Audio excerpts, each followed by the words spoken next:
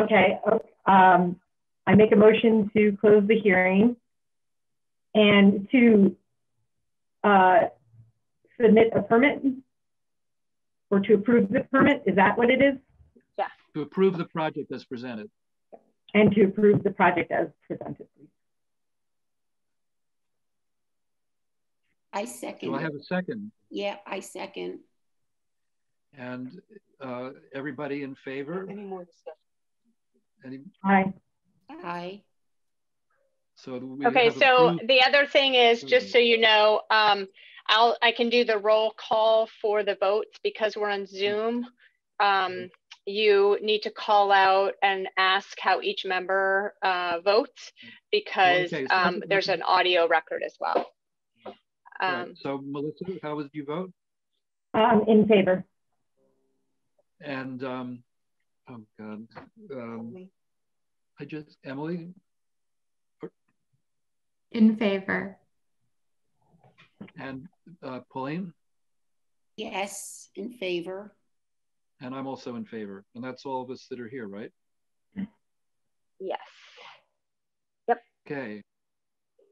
So now we can go on to the next hearing, if I'm not mistaken. And so we're going to open the hearing for the um, demolition review and new construction of St. John Cantius Church by O'Connell Development, 10 Hawley Street, uh, parcel 32A-171. And um, uh, is someone here who is going to present the um, uh, project? Uh, before we get started, I would like to recuse myself. Um, my husband works for Kuhn Riddle Architects, so I'm going to be leaving the meeting now. Okay, Thanks, Emily. We'll see you at the next one. And yes, in terms of representation of the owner, um, Matt Welter. I think you're mute. You might. No, I- I can't he's, he's not very loud. You, I can't hear you very well. Is this, can you hear me any better now? Making up. Oh, that's better. Try again. Can you hear me? Yes. That's loud. Yeah. Okay. So speak loudly is what I understand. Um, so uh, if, if I may, um, thanks for the, uh, the opportunity to present this evening. And um, the purpose of this application is for demolition of the St. John Cantius Church. Um, we understand the importance that the, the church has served the community over the years and completely appreciate uh, historically what is meant to the city and to the former parishioners. Um, our company, um, O'Connell Development Group, is a wholly owned subsidiary of the O'Connell Company. Uh, we've been in Holyoke for the past 140 years, and so we we absolutely can appreciate, um, you know, the anchors that that many folks feel um, keep key participants or buildings form to the community. Um, but um, in this case, um, and Charles Roberts from Kuhn Riddle can speak to this um, later on as we present the, the, the, type of development that we are proposing in its place. Um, but this is a, a, very high level concept, um, only looking to um, seek approval for the demolition, knowing that there will be an opportunity for the Central Business Architecture Committee and I'm sorry, I missed that. Knowing that, knowing that there's going to be another opportunity for the uh, the committee to review and comment, um, and we expect this to be an iterative process where we, we're soliciting comments and feedback from the city as well as the neighbors on style, materials, um, and so what we're presenting in its place tonight is uh, is very high level concept. Um, but uh, with that, I would like to uh, present a little bit of our, our background on the, the acquisition of the property, um, provide some logic and understanding of our decision-making process, and present essentially our alternative analyses uh, that led us to the decision. Um, this is a decision that we have not taken lightly, um, but unfortunately, um, discovering the level of deferred maintenance plus the effects of the pandemic have proven uh, a financial and practical solution um, not available. Um, so in terms of the timeline of our acquisition, we acquired the property back in uh, March of 2020. And uh, you're going, you're going in and out. Yeah. Your voice is going in you and have, out. You have to stay closer to the microphone. The microphone. Is this any better? Yes. I apologize. Um, so uh, when we purchased the property, one of the constraints that was um, from the beginning uh, was the fact that um, there's a stipulation that no use uh, inconsistent with the chief teachings of the Roman Catholic Church um, would be installed, and that restriction would run with the land. And so, um, although that didn't take all opportunities off the table, it effectively shrunk the tenant pool from the beginning. And um, it's my understanding that the last church service occurred in January of 2010, and it's been marketed since then and had uh, a fairly broad uh, reach in terms of the, uh, the brokerage community. And in some respects, the fact that uh, until we did acquire the property, there were not any takers speaks to, um, you know, my position, our position would be the, the, uh, the obsolescence of the building. Um, on top of that, uh, once we did acquire the property, because it had sat vacant for so many years, um, we undertook uh, an extensive exterior building valuation and determined through a competitive bidding process that in order to bring the building to weather tight condition, we would be spending uh, approximately $675,000. And that is um, only to bring the shell to a condition where we could protect against the elements. So that had um, nothing that included what would what would be necessary to upgrade mechanicals, to upgrade uh, structural, um, anything with uh, accessibility concerns. And so um, that um, essentially put us in uh, the hole at 675,000. Um, on top of You're that, fading again. It essentially put us in in a hole for 675,000 from the beginning. Um, on top of that, we also undertook a uh, hazardous material and, business, and uh, building assessment analysis and determined that um, the environmental remediation cost and abatement would be another $100,000. Um, again, uh, that is without any any upgrades or to um, provide the building with with anything that could be in essence marketable. Um, and so when we did acquire the property, uh, prior to that, we had a fairly extensive due diligence process, and we had been in discussions with a number of restaurateurs, uh, breweries, um, and potential retail operators.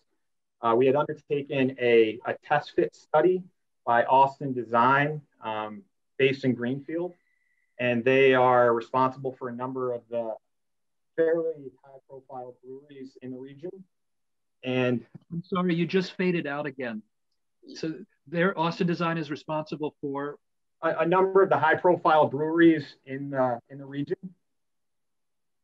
And uh, so the intent once we did acquire the property and leading up to the acquisition was to reuse and repurpose the church building. Um, but as we know, when uh, the pandemic had uh, really started to, to you know run its course back in March, April of last year, um, the entire retail environment, including restaurants, have been um, turned upside down.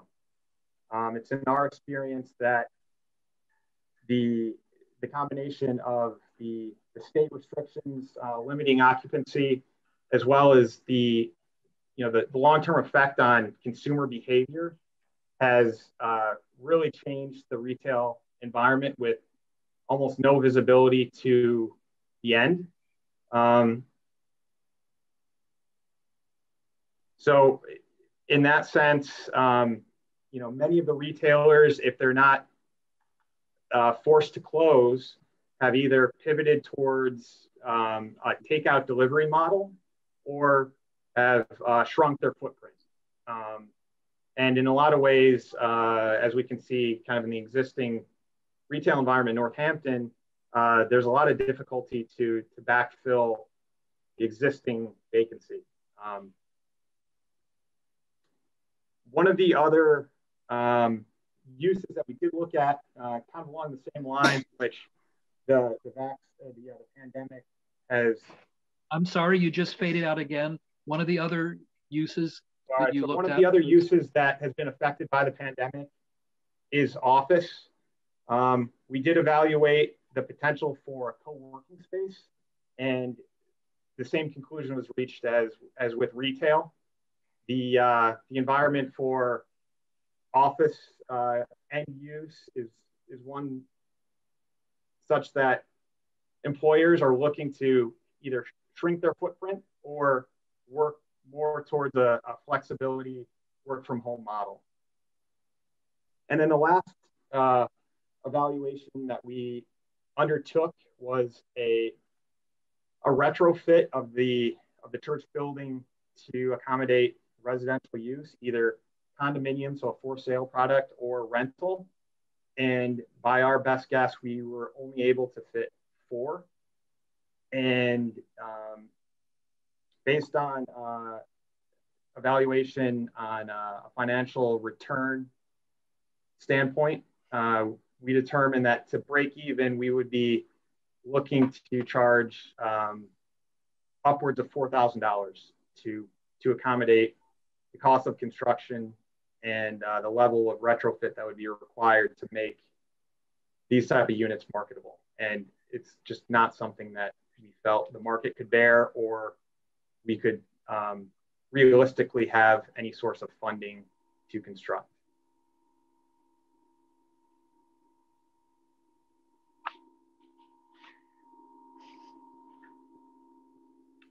And with that, um, would like to turn it over to Charles and he can walk through some of the, uh, the high level concepts on our proposed replacement.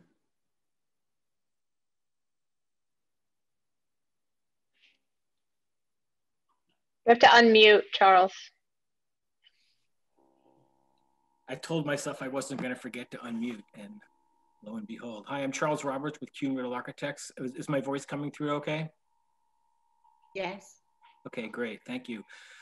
Thanks, Matt, um, for uh, that, that intro to the to the to what we're talking about here this evening and um, laying out O'Connell's perspective on this. But I, I just want to uh, walk folks through sort of the, uh, the design concepts that we're looking at here this evening. As, as Matt said, it's very, it's very preliminary. I think we're, I, I, I think we're willing, or O'Connell's willing to commit to the concept you're gonna, you're gonna see tonight, but architecturally it's going to evolve um, through neighborhood engagement and, and working with uh, working with your board and with and with uh, the planning department to to create an architecture that is really um, uh, compatible with the neighborhood and that reinforces the uh, the, the, stronger uh, residential qualities of the neighborhood and the and the walkability with downtown. Um, so I'm going to show a couple images. Uh, Carolyn, can you uh, can I share my screen, or do you have to give me yep. permission? No, you're all set to go. Okay, thanks. Um, let's see here. Um, I want to make sure I get the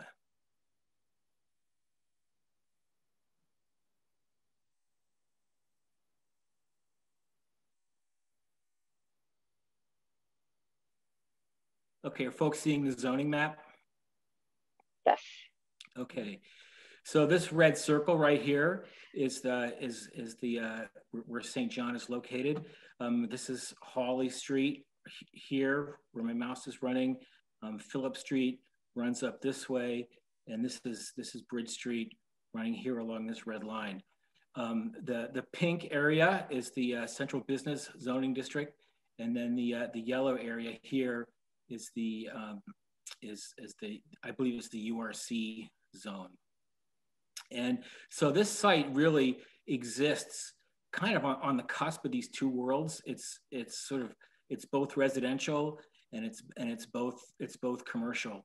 Um, O'Connell's development running right along here uh, on the northern edge of this long site, uh, edge edge of the site. is going to be 23 townhomes, and and then and that's going to sort of create a, this is a, as as sort of an island unto itself between the central business district and and the URC zone. Um, so it's it's really in, in, kind of an interesting place, just just architecturally and and and from a uh, sort of a planning and and and sort of urban point of view. Um, some of the the neighborhood images. The this is the building we're talking about, St. John Cantius. It's a you know it, it it is a lovely building and it's in a strategic spot in town. This is the the looking looking um, towards towards Bridge Street here. Hawley Street off to the right. I mean, Phillips Place off to the right. This is a view from across um, across Hawley Street, looking at the church, and then across from the parking lot immediately to the south. Um, these are just, you know, these are some of the uh, typical residential buildings in, the neighborhood. Kind of a, a nice mix of of, uh, of uh, late 19th century and pre-war uh, colonials, Victorians, and uh, to federal style townhouses. Um, nice scale, two, three stories, um, uh, dormers, um, a nice, you know, eclectic traditional mix of houses that sort of make Northampton such a, such a great town. Um, these are, these are, this, this is kind of um, representative of, of, of, sort of the schism of this neighborhood directly across the street from you know from the church. We have the the art center here which is a very vibrant community based center. Then we have these two commercial buildings here um, immediately across the street from the church. And so it's existing in it's existing in this residential world here and, and, and also in this in this commercial sort of more downtown urban kind of kind of a condition um, so it's, it's, it's within this context that we're looking at, at, at trying to create an architecture that, that, that, that, makes sense urbanistically and architecturally. Um, so this is, this is the site plan that we've come up with. This is Hawley Street along here, Phillips Place here, and these are, these are the lines of the condominiums that are currently under construction. So you can just barely make out so the ghosted in uh, footprint of, of uh, St. John Cantius. So the, uh, the plan here is to create uh, six townhouse units.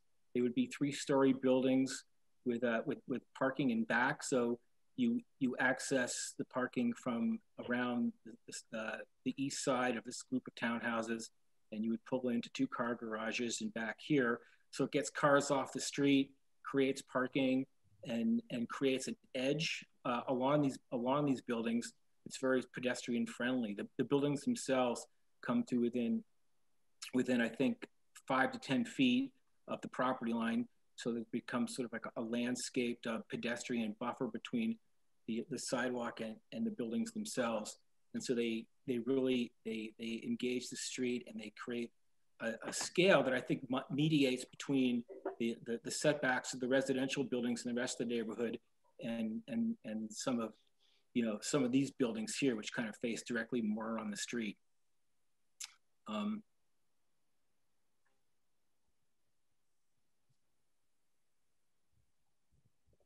so, and this is this is a this is a very sort of gestural hand sketch, but the idea is to try and give you a sense of the scale and and the forms of these buildings. There's a there's a triplex here and a duplex here. We'd be trying to create an architecture that's that's that's um, that separates itself from the development currently underway, but at the same time, it's, forms that are recognizable and, and address the street and introduce variation, yet at the same time having sort of the, the, the, the nicer qualities of repetition that, that townhomes often have in, in urban conditions. And so this would be the view from the street with the buildings kind of stepping down with, with the topography of the street and then they're they along Hawley Street here they would be at the same level. And the the the concept here is to create um, a, a, a, facade elevation that sort of has a little bit of depth to it and some push and pull between the lower level and the upper level, creating bay windows and nice entrances and landscaped edges at the street, sort of a consistent second story, and then a third story that's where we start to see some variation in dormers and roof expressions to again create a certain kind of um, I think I think uh, uh, compatible variation between the buildings themselves and uh, uh, uh at the same time a, you know a recognizable form. So the, again these are these are obviously very preliminary and we would be developing uh, the concept as we as we move forward. But in terms of the overall sort of plan and and and and shape and configuration of the buildings, I think, you know, we're, we're, we're, we feel pretty good about it in terms of what we're proposing, and that um, and, and, that the details will be will be worked out such that we're creating you know an architecture that really is compatible with the neighborhood. Um, Matt, is there anything else um, should be adding at this point? No, I think I think that's right. Um, yeah, we're, we'd be willing to commit um, to the unit count, um, the size and the scale, the height. Um, but like Charles mentioned, this is this is still um, conceptual, but we understand that there has to be the, the consistency with the surrounding area. So we would we would be uh, willing to accept uh, a minimum density that we've proposed here, as well as as as the uh, the height as well. Thanks, Matt. Um, Carolyn, there's people who are waiting to, to enter. Should, do, do you have to do that or, or because I now have your screen, does that No, no, I, I, I am, I am operating that, so that's no problem. Okay, all right, great. Yeah, and um, I, can... um, I just, I also want to clarify for the um, committee and, and the public, of course, that the zoning um, allows much more density than this, and certainly the scale of and massing of the structure coming down could certainly um, support much more, um, many more units than is shown here. So um, it would be my recommendation that um, um, if the committee were to make any kind of determination about approving demolition, the requirement for approval of demolition is that there's a building or multiple buildings to replace the building and then it's in a place that meets the criteria for creating that sense of vibrancy on the street. So um, I would not recommend that you um, um, necessarily um, commit or permit a demolition based on a minimum number of units. I think it's really in your purview is about the massing and the scale and not about the number of units because zoning is what dictates the allowed number of units um, relative to parking and, and um, you know, the other safety issues that are required based on the number of units. So um, if you think there's enough here to give you comfort, you, you mean that's part of your discussion basically is to look at the layout and the massing, but not the units.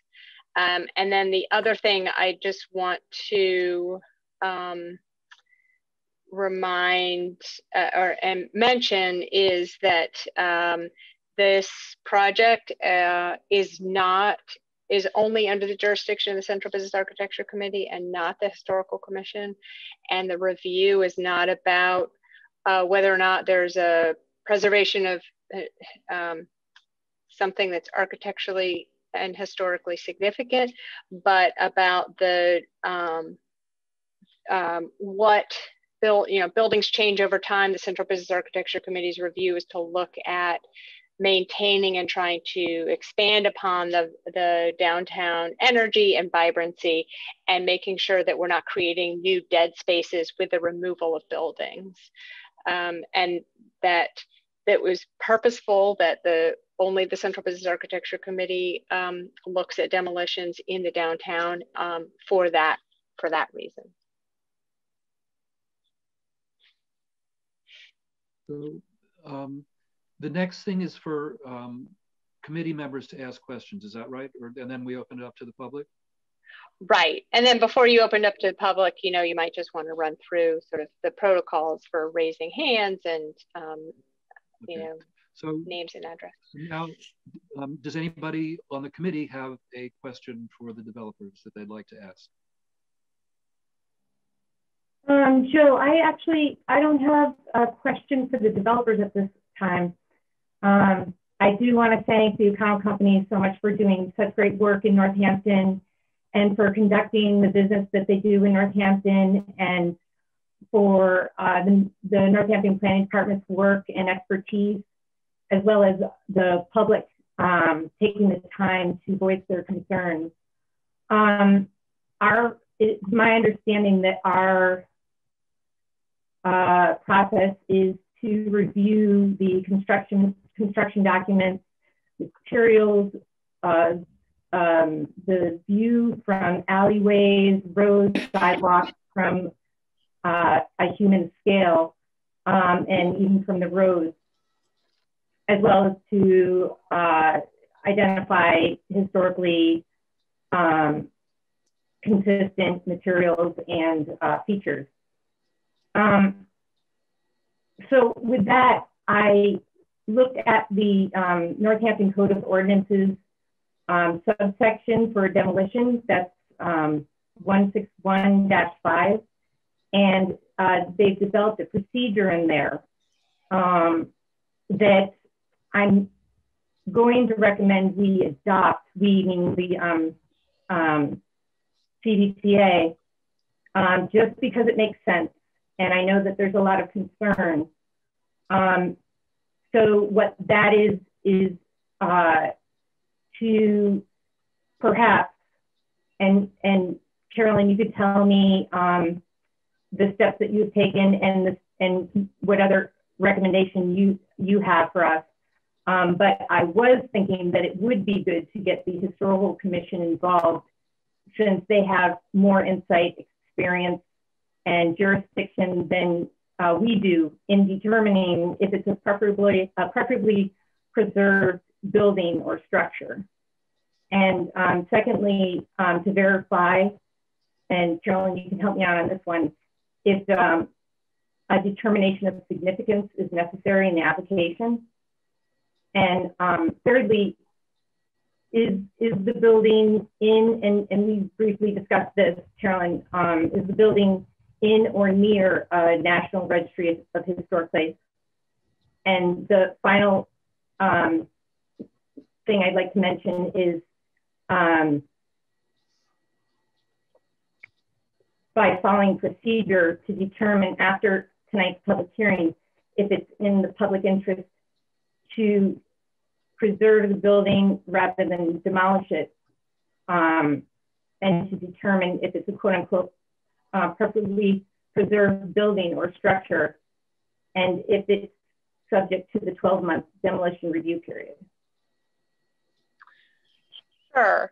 So um, uh, to sort of take that um, lens of um, that the historical commission uses is a completely separate jurisdiction. So only when projects are um, outside of the central business district um, there's actually, um, uh, I will say there's one location that overlaps between Central Business Architecture and the Historical Commission. And that one parcel is St. Mary's, which mm-hmm. unfortunately no one's found a reuse for that church either. But that is the only place in the entire city where the Central Business um, uh, District boundary overlaps the Historical Commission. That's the Elm Street district. So that because that's a district, that's why the historical commission would review a demolition of St. Mary's in addition to the Central Business Architecture Committee reviewing the demolition of St. Mary's. Um, nobody's come forward with a demolition plan for St. Mary's. That's not what I'm suggesting here. I'm just wanted to clarify that um, in this case, because this structure is wholly within the Central Business Architecture Committee. There is no review by the Historical Commission, and you do not, the Central Business Architecture Committee does not have the legal authority to use the language that's specified about whether or not a property is preferably preserved. Your the language that you are bound to um, use in terms of your review is um, in 156 in the design guidelines, and it specifically talks about demolition of historic buildings. Okay. And um, what it says is that for historic landmark or theme buildings, demolition should be considered only when the building is unusable or is functionally and structurally obsolete, and when an appropriate, so, and when an appropriate new building has been designed to replace it. Demolition of, um, and then it goes on to talk about demolition of um, other types of buildings um, under with that same evaluation. So the committee must determine that they have enough information from the applicant that um, it's functionally and structurally obsolete and that there's another building to replace it. So you the only way you could deny a demolition is if you found that they did not do enough to show you that there wasn't a reuse available or rehab, um, that there are no other reasonable alternatives for rehabilitation of the building. Um, and there, and it's only after reasonable alternatives have been evaluated and then determined that they're not accessible for the applicant. Um, the only way that, so if that is not to be found, or if there's no building to replace it, like there's a parking lot only, or there's no plan for anything on the site, then the Central Business Architecture Committee could deny a project for demolition. But if there's enough evidence to show that reasonable alternatives don't exist for the reuse or rehab, and the building is functionally and structurally obsolete, and there's a building to to replace it, then you can, then you are obligated to approve the permit. Um, there's no demolition delay as under historical commission review. So none of that piece is um, relevant to your evaluation. Um, the, uh, the, the, the, the piece of this project which has not um, which is a little more complicated, is that they have a concept for design, but they're not saying we're building this and here are the materials and here are the number of stories and here are the here's the final massing. Um, so um, they're basically asking for a phased approval, one for demolition with a concept and then coming back to you for final approval of a plan. So at the concept level, you could look at, um, again, whether there's enough massing here to make up for the loss of that significant landmark building, um, and, or whether they need to build a little bit more into it, and that's the only way they're going to get their permit.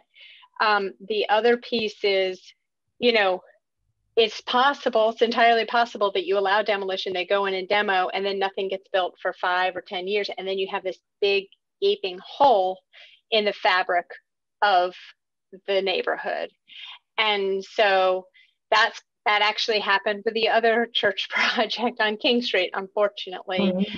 Um, that was under the church ownership that that project went forward, and there's been no building to replace the historic building that came down.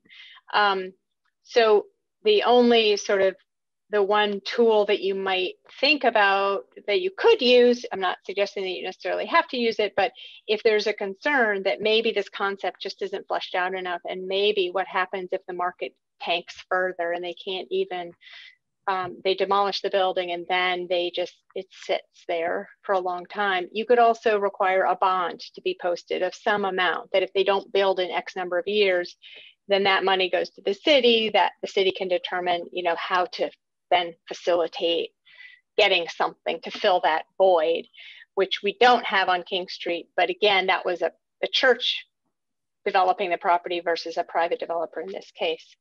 And then to answer your question about the um, whether or not this is this is clearly an historical building.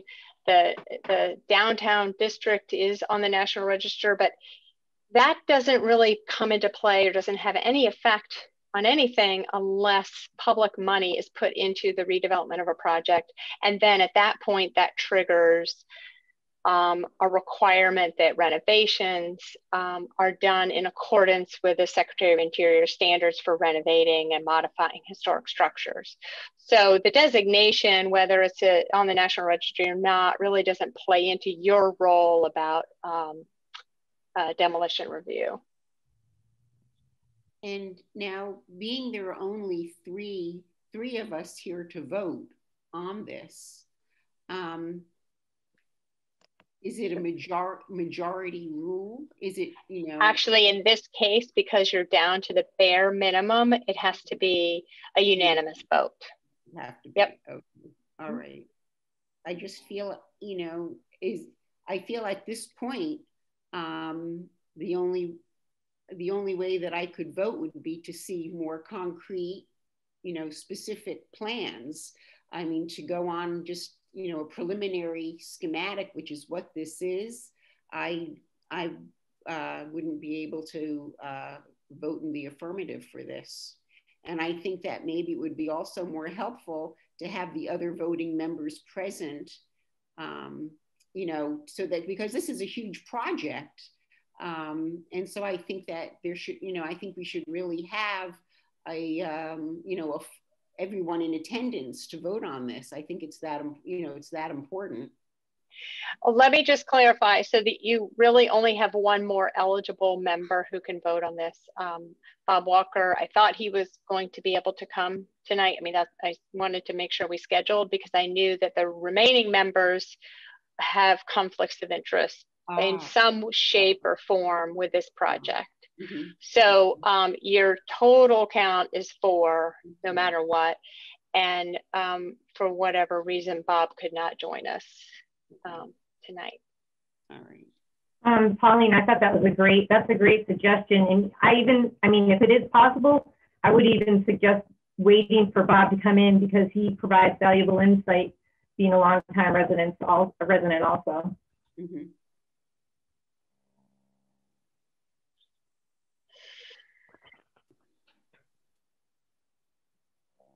Um, you know, there you might uh, you might want to mull that over and think about it as you take public comment.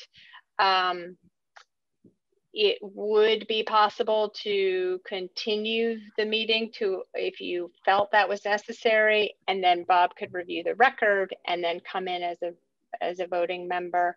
But obviously, that's up to you all to to decide. Mm -hmm. Um, a question to the developer, Matt. Um, you mentioned the return on investment um, for the, I think the four units or 4,000 monthly um, rent, I think is what you were saying. I was wondering if you could maybe do a comparison between the two of the one that you're proposing, the 23 units, and the other, I think it was con condos or something like that. So um, I'm not entirely sure um, what what you're asking. Um, the the the townhomes on the, the, phase one of the 23 townhomes are for sale. Um, mm-hmm. The comparison that I used, um, apologize if I wasn't clear, but was more just to represent the break even, and uh, oh. and at four thousand dollars per month per unit, that would be in essence, the amount that would be necessary to, to break even. Mm-hmm. Okay.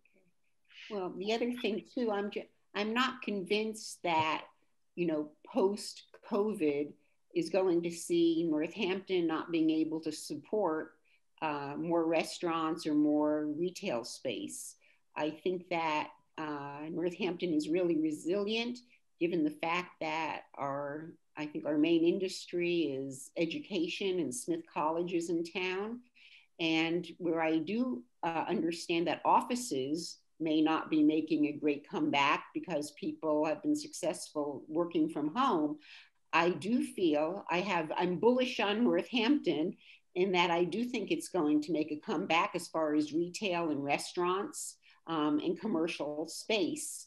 And um, you know, where you're going uh, to demolish a historic and significant uh, building, um, I would I would rather see some sort of reuse. Uh, you know, I would prefer reuse of the existing building than building more a residential space.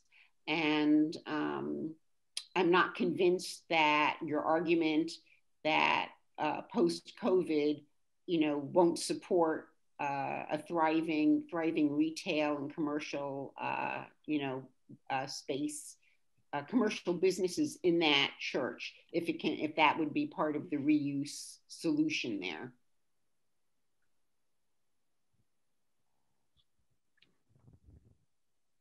May I respond? Go right ahead. Oh, uh, so I, just to to address some of the comments on uh, on being bullish on Northampton and the viability of, of restaurants, we do think that there is an opportunity that the the market will recover and will respond eventually. Um, the issue is that uh, with the the deferred maintenance that exists at the building, mm-hmm. um, in order to bring the the building shell to a point in which we could market, um, we would be um, spending nearly $800,000. And when that gets added to the rent that's necessary to attract tenants, we would be probably somewhere in the 40 to, to low $50 per square foot. And we're not aware of, uh, of any retail establishment within the city that has supported that type of rent. Mm-hmm. Um, so, and when you made your, when you had your offer accepted, um, you know, and you had mentioned, you know, your hope to, you hope to uh, preserve the building and find a reuse for it, I would have expected that you would have done some due diligence and looked into what it would take to uh, you know to preserve the building and to bring it up to uh, you know safety and code standards yeah we we did um, conduct a due diligence on the building um, but there are time limits that are associated with that and um, there are what i'm sorry there, there are some time limitations that were part of that oh. contract uh-huh. um, that prevented us from possibly doing more. And then also um, prevented us from doing full environmental and remediation analysis on the building. Um, that's, that's typically not uh, standard during due diligence. And um, once we did acquire the property, we did uncover uh, significant uh, hazardous materials and um, asbestos uh, related materials in the building um, that truthfully are, are unforeseen. Mm-hmm. But those are going to have to be removed by a professional, you know, professional company anyway, whether you repurpose it or you're going to demolish it. Is that correct? That's correct. Um, the, the only thing that I would say is that uh, if we're comparing the two scenarios, adding the amount of the the uh, remedi- remediation abatement um, to the cost to um, improve the existing building, um, your starting point is much higher under that scenario than you would if you were to demolish and build anew.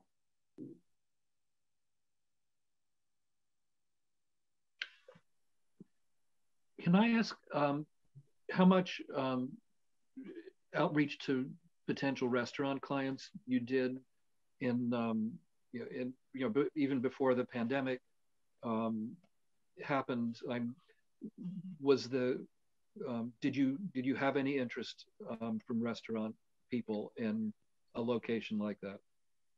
Uh, we, we did have um, some in, um, a, a, Boston area restaurateur who, who thought this could be a potential. Um, yeah, I'll talk to you later restaurant and uh, live music venue.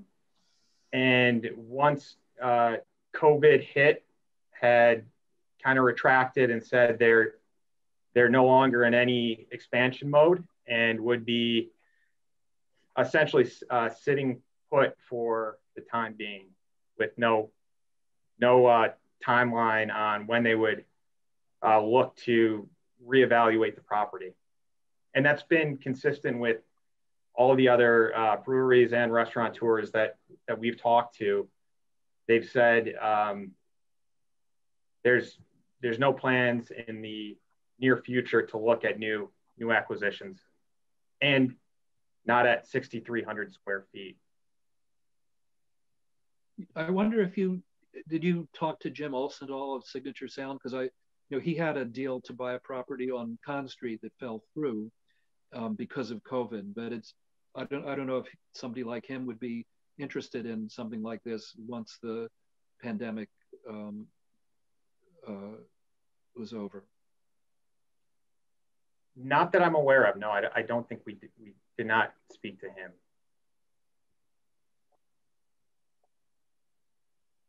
Um, and how many residential units did you think you might be able to fit in there if you if it would be applicable to uh, if it would be possible to do? Four, possibly five. So two bedroom or three bedroom? Probably a mix of one and two bedroom. Uh, and how many levels could? Probably be two two levels it would be probably a mix of uh, single story and then potentially two story.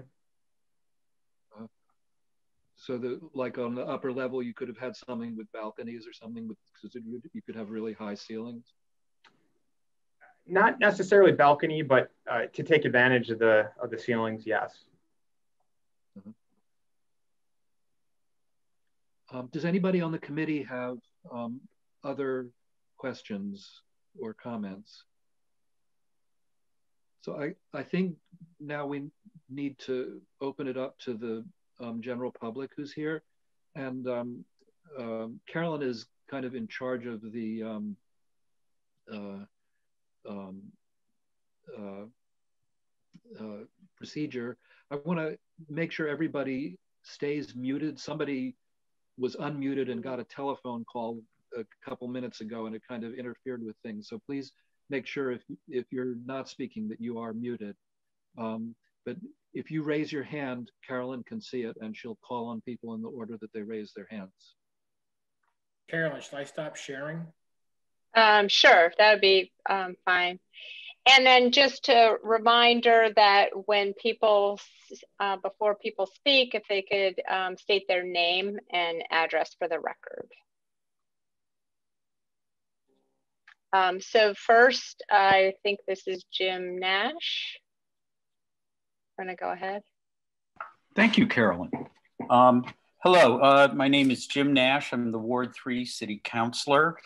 And um, I come here today uh, to speak to, you know, this uh, sad circumstance that we're, we're all facing right here with this iconic and striking structure.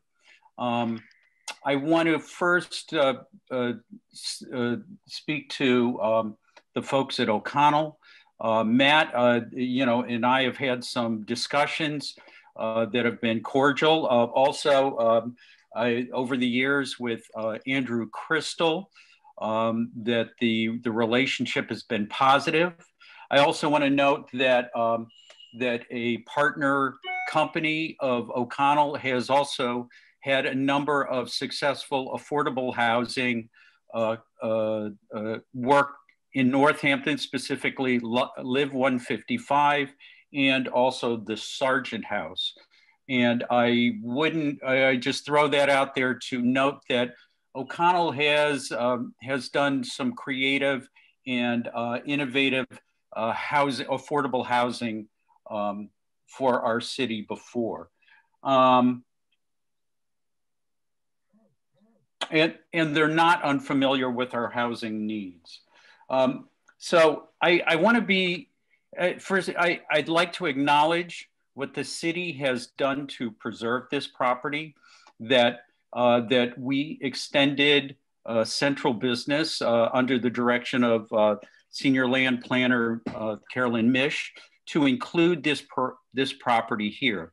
Because under central business, it allows for a range of uses that in particular would have been are helpful to preserving a structure such as the church.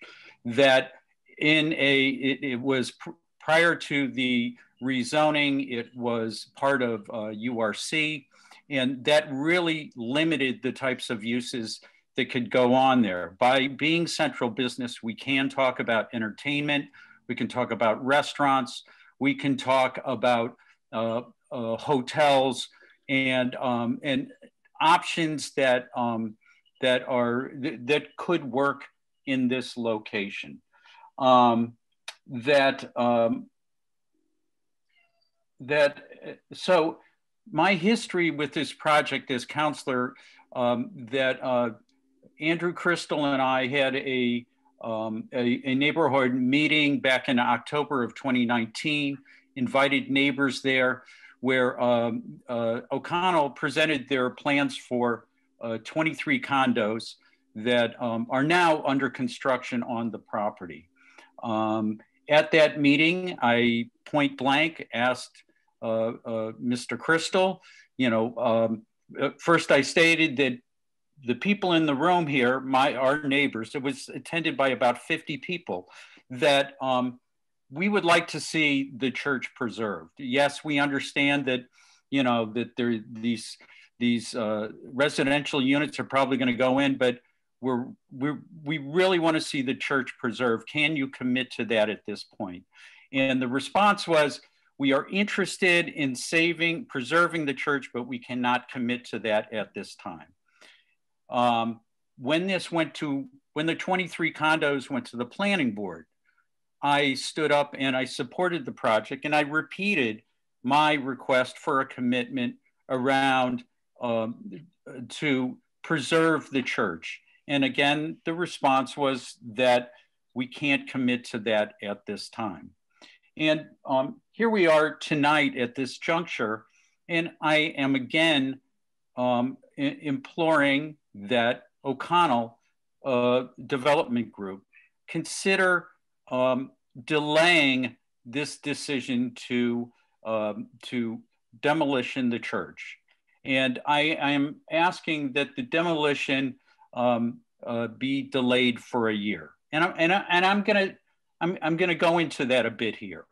That um, I, I agree with the assessment of uh, members of this committee that um, that uh, you know I too believe in Northampton and its ability to recover that um, I've seen people having pleasant, fine dining experiences in curbsides and in parking lots.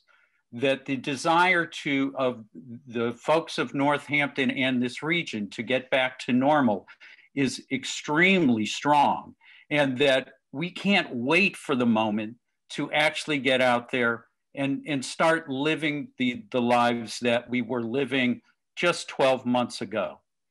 Um, so I, I, I too am bullish on Northampton. I also want to acknowledge that um, within the, uh, the, the, the, the, the, challenge that uh, O'Connell Development Group is facing because of some language that's been embedded in the deed by the prior owner, that the, that the uh, whatever uh, uses need to comport with the teachings of the Catholic Church.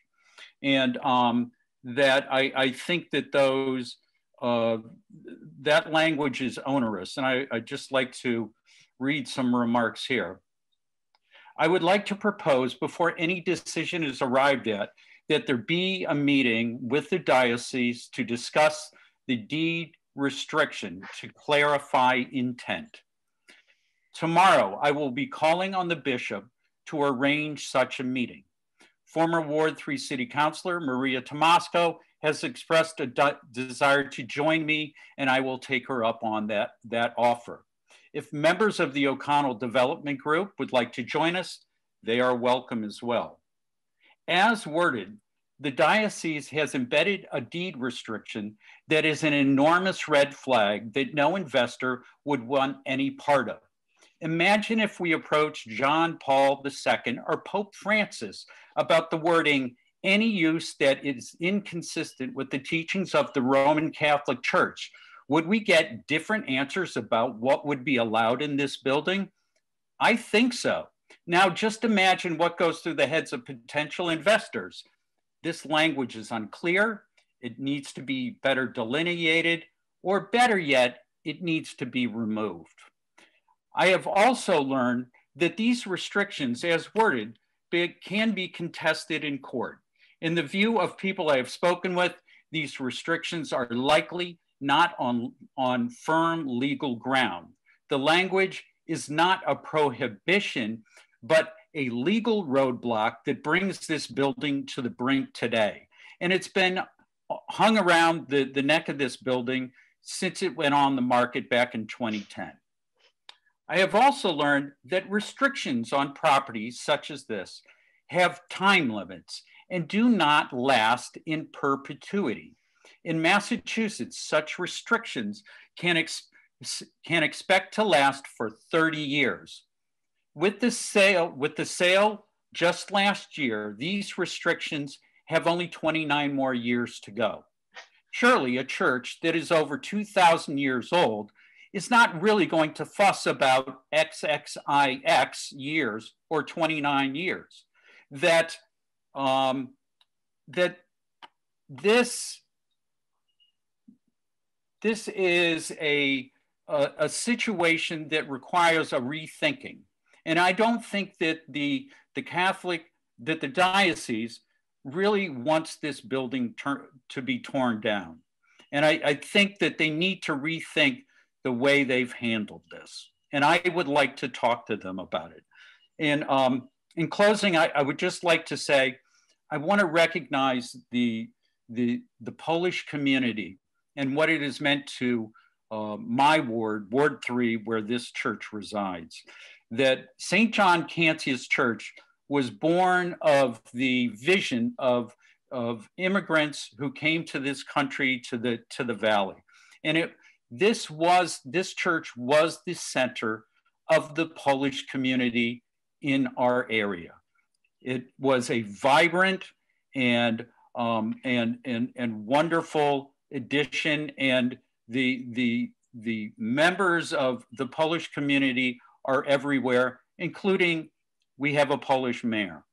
So I would like to say that um, I, I, I hope that, um, that I, I, I'm hoping that the, the committee will vote in some way to push this off, but more so I am imploring to the folks at O'Connell um, and, and Matt, who I've had some very good discussions with, that we put this on hold for a bit, we really research things, and that we be we speak to the to the diocese, and we also remain bullish on Northampton. Thank you. Before the next person comes on, um, it'd be, it'd be good if we could keep our comments to three or four minutes, because um, otherwise we're gonna could be here all night. I think the um, the, di the diocese in Springfield has has proven themselves to be very inflexible and and uh, uh, about anything that they um, uh, uh, have opinions on, and I, I, don't think I don't think that's an avenue that's going to go anywhere. To be honest with you. Anyway, could could the next? It's time for the next uh, person. Um, so I have Carlos, and you said three minutes. Is that what you said, Joe? try yeah try and keep it to three or four minutes because otherwise okay. it, it, could be a really long time. So somebody have the stop clock? I mean, somebody checking. So I'm Carlos McBride. I live literally right across the street, um, 17 Hawley Street. And, you know, it's really frustrating to hear what's happening with this or the potential uh, for this building for many reasons. Um, I'm out here finishing up my PhD at UMass. I'm raising my daughter by myself, who's five. And I don't I don't see I mean, I keep hearing vibrant and you know what what this could do for for downtown. I mean, we have right up the street, we have these townhomes that have been just sitting there for how how long? You know, um, I'm not look, I'm not trying to attack the integrity of, of, of Mr. Welter, the profession of the of O'Connell. You know, I, I it just doesn't it it doesn't add up for me. You know, and and I feel like, you know, if if if if you've been around for at least 100 years, you would know that when you're getting into a situation, some kind of a business opportunity or what have you, you know that you're going to, you know, the risks that are involved or and, and, and the repurposing of this building for me would be more ideal given the fact that we already have this construction across the street given the fact that you know affordable housing really isn't going to exist around here anymore. I mean i'm coming from brooklyn where you know diversity was heavy but now you can't even live there anymore you know? And and this is this is what i feel like can i mean i'm out you know i'm out here because i want my daughter to be in a good school system you know? And, and i don't walk around this community feeling like people look at me like i'm a part of this community or like i'm a community leader or like i'm an educator right? People don't look at me like that but you know i i, I understand what my purpose is you know, I'm committed to what, you know, to to being a part of this community, to to I'm committed to to you know bringing diversity to this community. But you know, the idea of of tearing this place down for a four thousand dollar, you know, to meet a four thousand dollar a month, you know, bill just to break even, it it it, it makes me feel nauseous. You know, eh, eh, you know, to think that you know somebody you know an organization that's been around for over 100 years cannot come up with some kind of a collaborative idea of, of, of repurposing that, you know, that, that landmark building. And we've seen pictures of this neighborhood, you know, that those pictures are probably going to be far and few in between the way things are going, it seems, you know, and COVID hit everybody. You know, COVID has affected everyone, right? So, you know, I just, you know, I'm not trying to throw spears here right? But you know, I'm I'm I live here, you know, and and I and I wanted, you know, I just wanted to be known that you know it's it's really frustrating that, you know, it's really about you know the, the figures and the commas, you know, in reference to what happens to this to this uh, piece of property, and you know I you know I appreciate what I you know some of the things that have been brought up in response to this.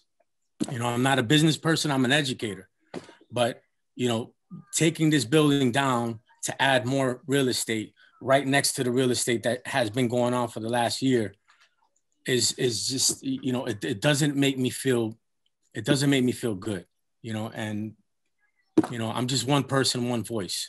But you know i'll be damned if i'm going to walk around feeling like that's going to add to the community that i feel like i'm trying to belong to. So i appreciate the time. Thank you Thank you. Um, the next person is uh, Fred.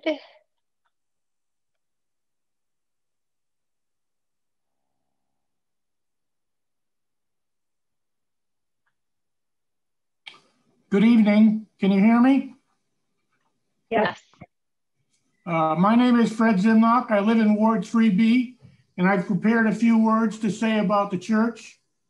My grandfather came here from Poland in 1902. He was transporting his niece and nephew to their mother, who lived in Easthampton. Leaving the Russian partition of Poland, where people were struggling with poverty and hopeless future, he wisely remained to stay here.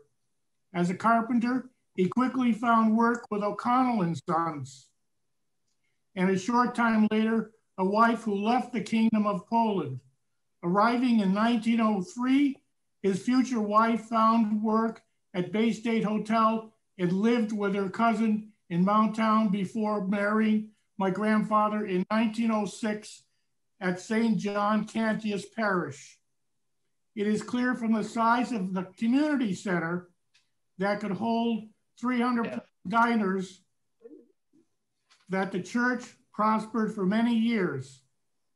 Losing this building is just another blow to erasing an important part of the city's history but also the lives of the many parishioners who contributed economically and shared their ebullient social life. But it can be done. Witness the re restructuring of the old USPO, the NIS, the First National Bank building, and of course the railroad station. Yet I know that people who visit Europe for the first time always on returning comment on the host of historic buildings they visited, yet they come home to see historic buildings being destroyed. This raises the question for me of why our city ordinance makes historic buildings in the commercial business zone exempt from the 100 year historic review. To prevent this loss, I suggest that ODG commit to extending the time to discover new ways of preserving the building in light of the fact that our pandemic is now waning. I might add that my grandfather's great granddaughter, Erica, was married in this church in October 2000, not only in order to preserve the history of her family, but because she and her husband thought that the architectural style was so wonderful. I would also hope that our mayor, Narkewicz, who I know respects the history of his ancestors, would support my idea for continuation of a review of possible other uses of this building. Thank you very much. I would also like to say that Maria Tymoczko is here and she would like to speak too. Thank you. If I can say just a very few things. Um, I would like to say um, I was city councilor when, um, uh, well, for a number of years. And when the idea came up about having the, um, um, the condos, uh, we worked with the people who were proposing the condos. And um, in the end, um, uh, we had agreed upon having the condos, um, giving up part of the church land, the rectory land, uh, so that the condos could be put in. But we were very committed to keeping the church. And somehow that idea has vanished. And I, um, I'm, I'm wondering exactly why it vanished and who precisely um, is behind this, because we had all sorts of specific information about keeping the church. And what Fred just said about the importance of the church um, is completely true that this is a place where people who are Polish can come together. And we're not going to be able to rebuild the building and redesign it and, uh, and change um, the way we use the building. But when we do, it seems to me that one of the rooms we need is a room for people to come together and gather. And my guess is that if we have such a room, in this rehabilitated church. Um, my guess is that that may very well be a place where people with a Polish heritage will come and spend time together. Um, there's a lot more things I could say, but I will, so to speak, um, pass the gavel. Thank you. Thank you. Um, Next, I just see N. Wooters. Yeah, hi. Uh, my name is Nathan Wooters. I live at uh, 17 Hawley Street, uh, across the street from the church. Um, and, uh, you know, I, I got to be honest, when I came into this meeting, I thought that the demolition of the church was a done deal. So I was sort of operating on that assumption. Uh, so I don't pretend to have any opinion about that about whether it's more effective to repurpose or whether it's more effective to demolish. But I think if you're going to get rid of the church, you should you should put something good in place. Uh, and I think putting five townhouses that will likely be empty for a very long time uh, is not a good use of that space. Is not i don't think we need more empty property in this town. Uh, and i think you know i you know i find it interesting that this conversation with talks of like aesthetics and how the townhouses would look when i think like the building that i live in which you know is commercial uh, i you know, I have an upstairs neighbor, I have a downstairs neighbor, and I think I live very comfortably. When I moved in here, I I felt like I had a real I I really like this place. I don't think you need I don't think we need space that's not going to be used. And I think there needs to be an opportunity for uh, lower income people to move into this community. And I think we should have if we're going to get rid of this space, we should, the church, there should be affordable housing, uh, low income housing uh, to make, to make it worthwhile. Um, and I guess that's all I have to say about that. Thank you. Thank you.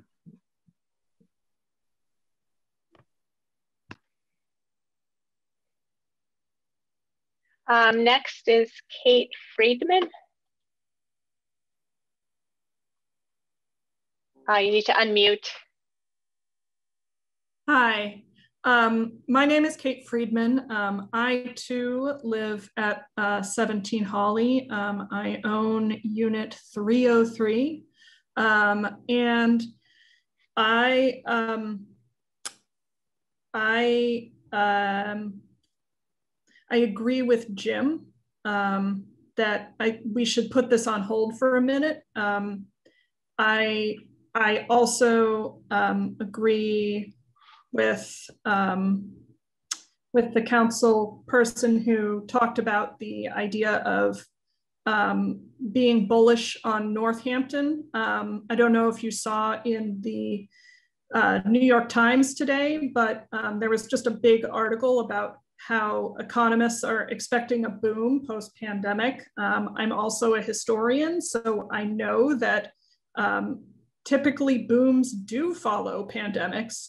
Um, and I expect that is that's exactly what's going to happen here, especially you know because of all the the um, stimulus that um, has been put into the economy.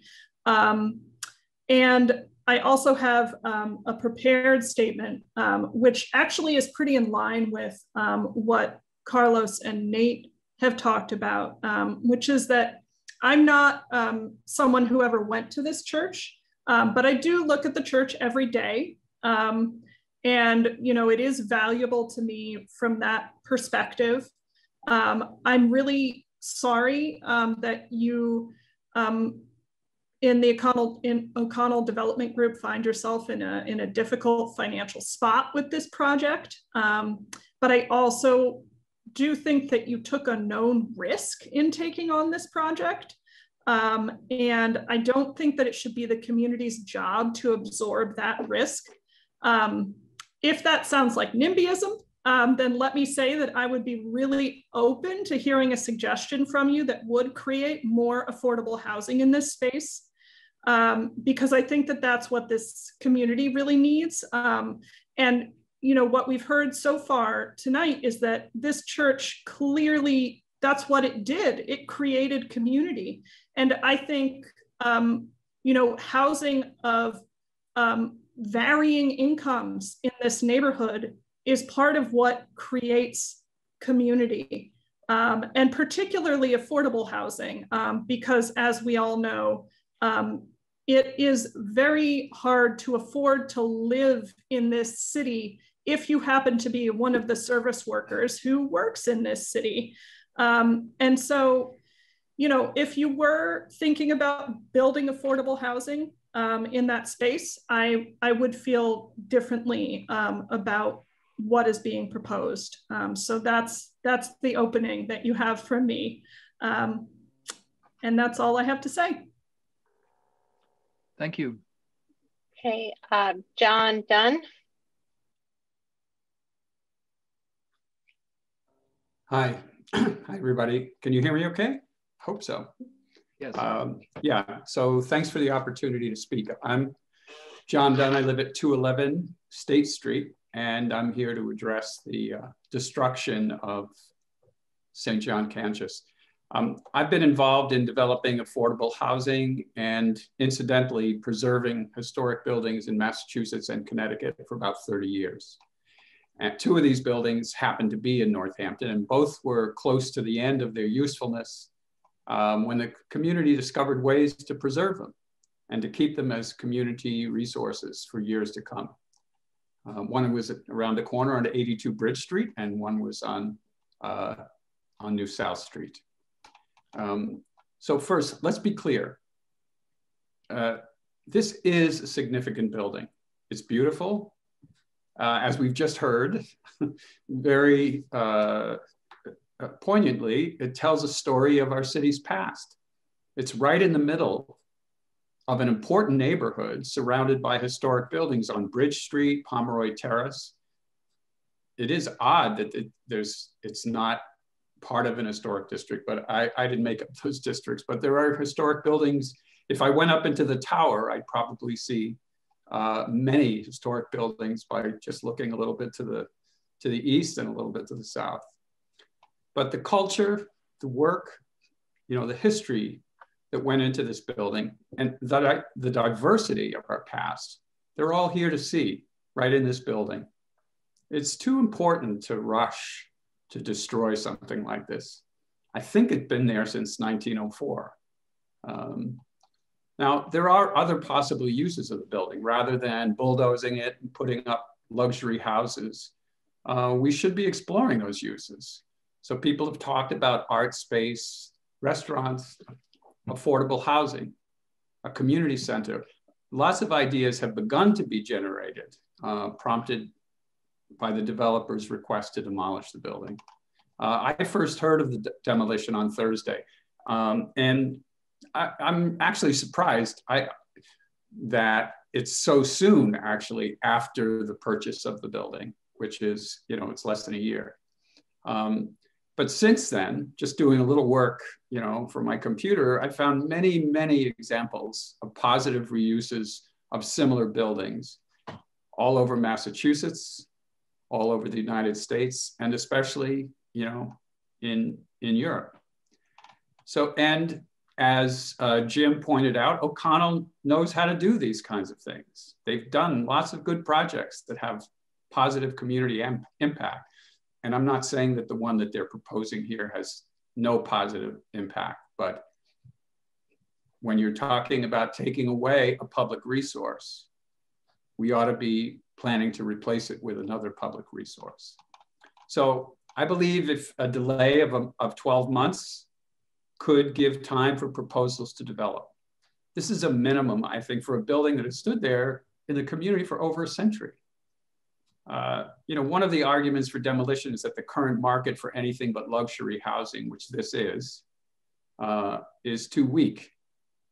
But really, should we base decisions that'll change the character of a neighborhood on a temporary economic downturn? Is that really visionary? Is that sustainability? And while we're on the topic of it, let, us not forget the sheer waste of putting materials in a landfill when they could be reused right where they are. You want to do green building, then start by not tearing things down. Uh, regarding the cost of renovations needed, it, uh, I, I am a little surprised at the cost. I, is the roof leaking? Um, is, it, is it true that this building deteriorated that rapidly? That surprises me because, and I'm not, I'm not challenging you, but that it surprises me since most diocesan buildings are fairly well maintained. Uh, did the city cons consider it a, a, uh, dangerous structure or do they now consider it dangerous? I don't know the answers to those questions. So I hope the committee will give St. John Cantius a stay of execution and give the community time to figure out how to get it done.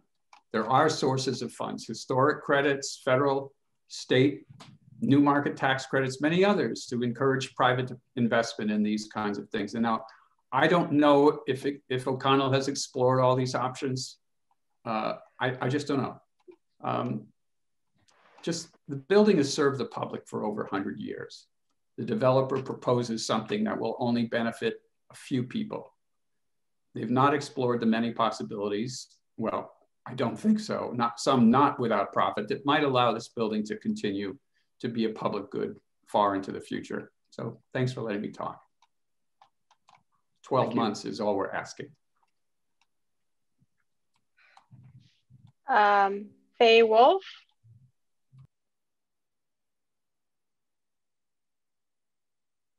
Hi, I, I uh, want to take a slightly different tack. I'm a neighbor. My name is Faye Wolf. I live at 28 Phillips Place.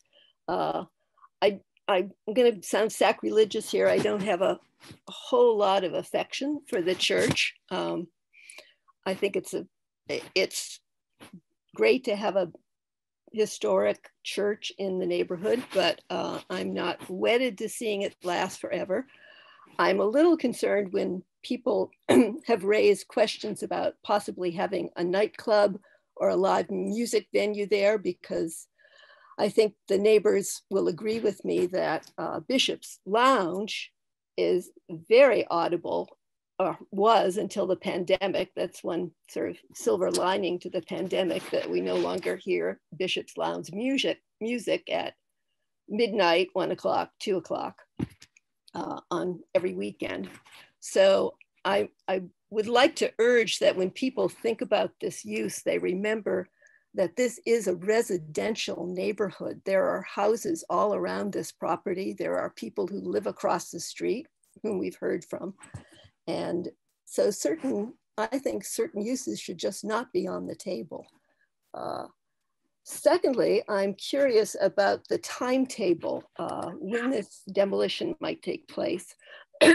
this is off the, uh, the point of the committee, but there is a colony of chimney swifts living in the church chimney, and they nest starting in April, and they are there until September. And during that time, according to a federal law, there is no demolition. Demolition really can't proceed. Uh, destruction of nests, injury or murder of killing of animals, birds, just uh, cannot happen legally. So I'd like to know when the demolition would take place, possibly, and how long it would last, and what remediation, if worse comes to worse and the church has to come down, how the developers would address that question. I realize that may not be a question for this committee, but I would just like to go on record with it. Uh, and uh, I'm also a little concerned about the discussion of massing and number of units. Uh, we have 23 townhouses going up behind us and five more sort of just sort of fits into the mix as far as I can see. But I would not like to see the character of this neighborhood altered significantly architecturally, where you have two story buildings and some three story buildings on Hawley, and suddenly you have a hulking mass of building right up to the property line, which has happened in this city. It's happened all over the place. And uh, I just would like to see that whatever is built is consistent with what we have in the neighborhood. So thank you.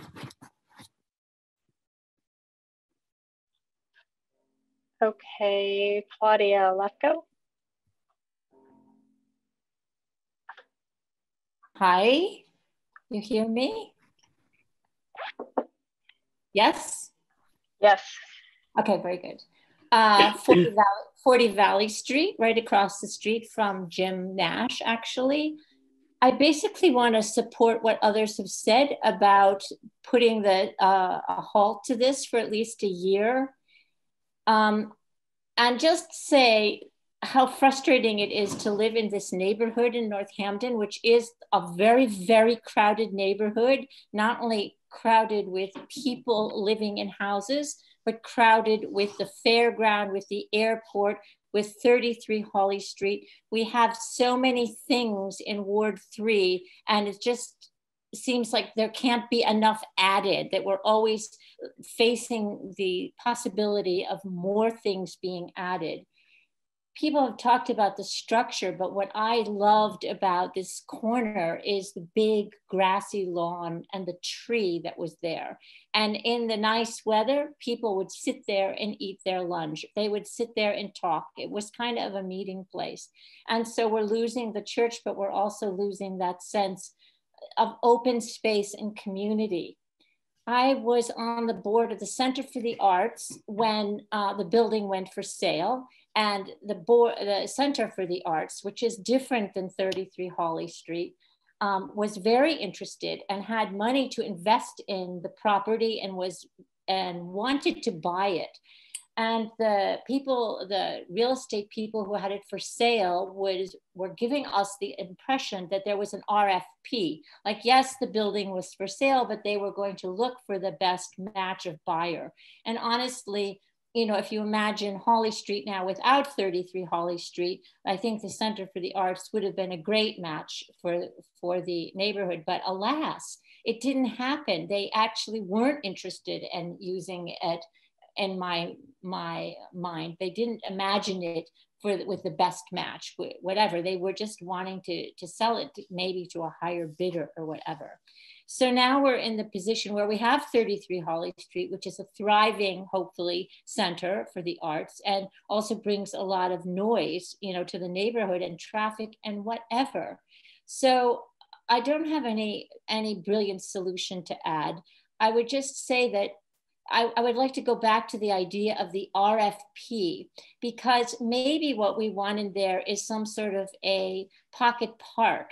And maybe there's some chance that the city like i know it doesn't come under historic uh, purview because there's no private public partnership but why isn't why couldn't there be a public partnership why couldn't the city given how much i feel like the zoning has oppressed ward 3 i feel like the city could join to give something back to us like you know like join with uh, these developers to issue some sort of a rfp to come up with a very creative some public private partnership that maybe I mean, I don't know. We need a com community meeting space. We need daycare in the center. This is a stone building. You know, I was worked in many a daycare that was in a church basement over my time. So there are a lot of ideas. And I think the fact that there are birds there just adds to this idea that we should save it and make it a park of some sort or whatever.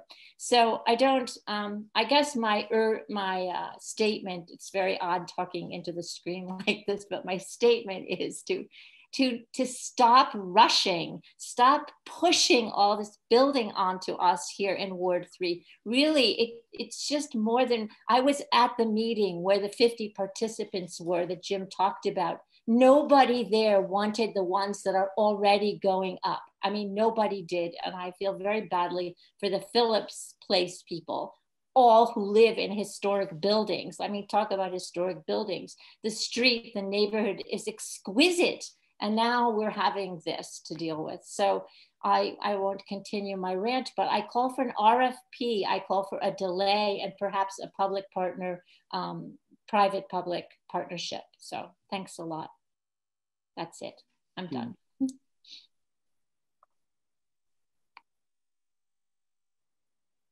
Um, Eric Cherries.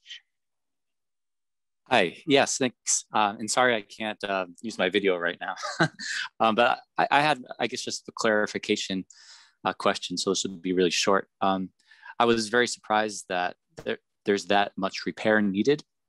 Um, around $800,000, I think was the number. Um, and I can see how that would be a real hindrance for reusing the building.